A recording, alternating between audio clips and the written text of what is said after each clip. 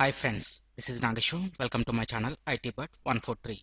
In this tutorial, I will show how to install Notepad++ which will be helpful in creating the HTML codes for the web pages. You can download this from the link showing in my browser or from the link pasted in this video's description. Just scroll down and here you will get installer for Notepad++. You will get both the version 32-bit and 64-bit please download this.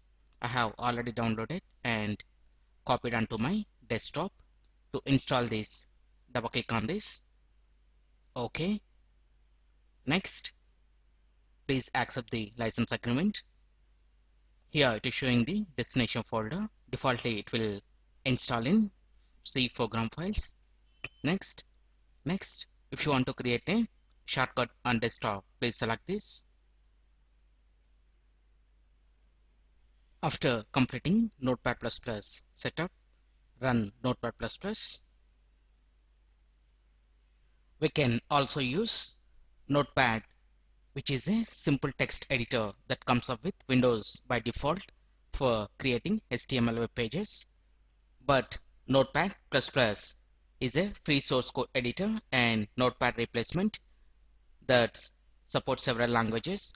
Notepad++ is much more attractive than old traditional notepad. This will bring the professional look for your work.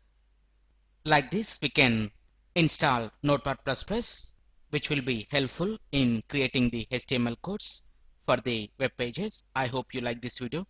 If you like this video please click on like button and please share this video with your friends and please visit my channel itbird143 to watch more latest uploaded videos and don't forget to subscribe my channel. Thank you friends. Have a nice day.